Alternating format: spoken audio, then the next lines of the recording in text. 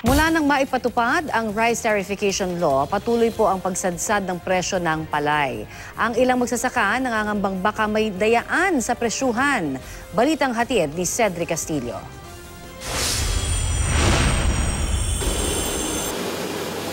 Doble kayod ang halimaw. Ito ang tawag ng grupong nakausap namin sa tractor na ito na gamit sa pag-ani sa palayang ito sa Plaridel, Bulacan. Paspas kasi ng harvest ang grupo dahil nagbabadya raw tuwing hapon ang ulan. almost 300 kabans ang mawawala. Kasi pag dumapa siya, nahipa na ang hangin, naulan, talo na ron. Bukod sa klima, kalaban din daw ngayon ng mga magsasaka ang napapanahong bagsak presyo ng kanilang produkto. 13 pesos per kilo. So doon medyo hindi kami masaya. Nakita niyo naman sitwasyon namin sa bukid. Napakahirap talaga. Kung ito pa lang naka-harvest pa lang ng harvester, pumapatak na sana ng 15 pesos, tapos pag natuyo is papatak ng 19 pesos, medyo makababawi-bawi. Sa datos na inilabas ng Philippine Statistics Authority o PSA noong October 25, nasa 15.53 pesos kada kilo na lang ang average farm gate price ng palay sa buong bansa. Mas mababa ito ng halos 27% kumpara sa presyo sa kaparehong panahon noong 2018 na 21.23 pesos kada kilo. Katunayan, sumadsad na ang bentahan ng palay sa pinaka mababang presyo sa lumipas na walong taon.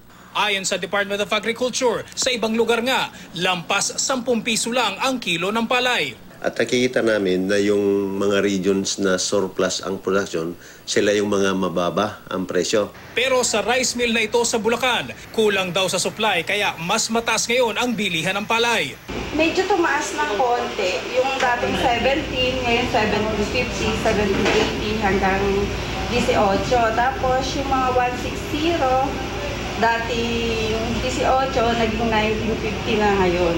Pangamba naman ng ilang magsasaka, baka nagkakahokus-pokus na sa presyuhan ng palay. Ang ginagawa po nilang dahilan, hindi sila mamimili. Kung ibibigay kanin sa ganitong alaga, bibili namin. Kaya po naluloko kami ng mga rice trader.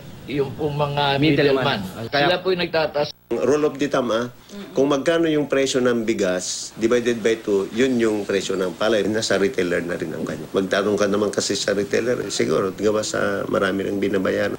Kasunod ng pagpapatupad ng Rice Tarification Law, patuloy ang pagbaba ng presyo ng palay.